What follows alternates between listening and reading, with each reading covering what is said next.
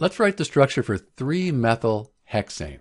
So first off, we see that it ends in ANE. That means we're going to have this alkane here. It's going to be carbon atoms connected with single bonds surrounded by hydrogen. So we know that we'll have single bonded carbon atoms. And then hex, that means six. So we're going to have six of those single bonded carbon atoms. That'll look like this. So we have our six carbon atoms, we have our single bonds, and we can number them one, two, three through six.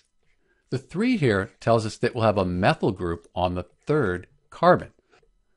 A methyl group, that's just CH3. We're just adding one carbon onto this carbon here. That looks like this. So we have our alkane, because of the ANE, all single bonds.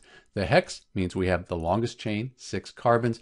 Now methyl, we put that on the third carbon, one, two, three. And because we have an alkane here, each carbon would be bonded to four things. So we'd have one, two, three hydrogens here, one, two here, and so on. We could also draw it like this in a more condensed format here, where we have our one, two, three, four, five, six carbons, then our methyl group right here. Finally, if we wanted to look at a molecular model, that would look like this. So this is the formula for 3-methyl hexane, and this is Dr. B. Thanks for watching.